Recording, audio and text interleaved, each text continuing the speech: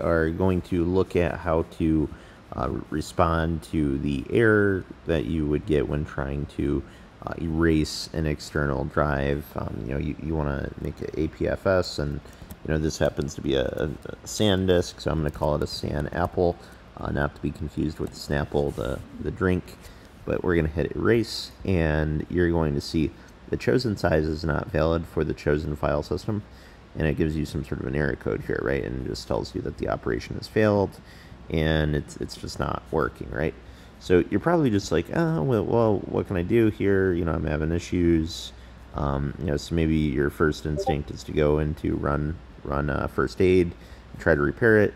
That all happens and everything, and you're just like, wow, wonderful. You know, now now maybe I can do something.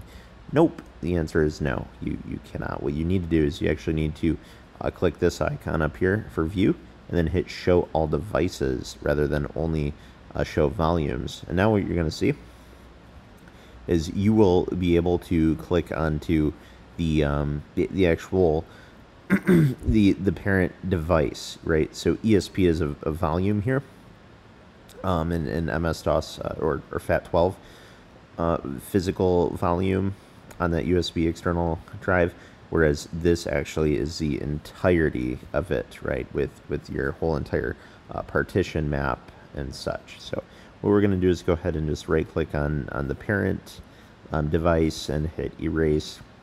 From here, you'll be able, to you know, change this to APFS.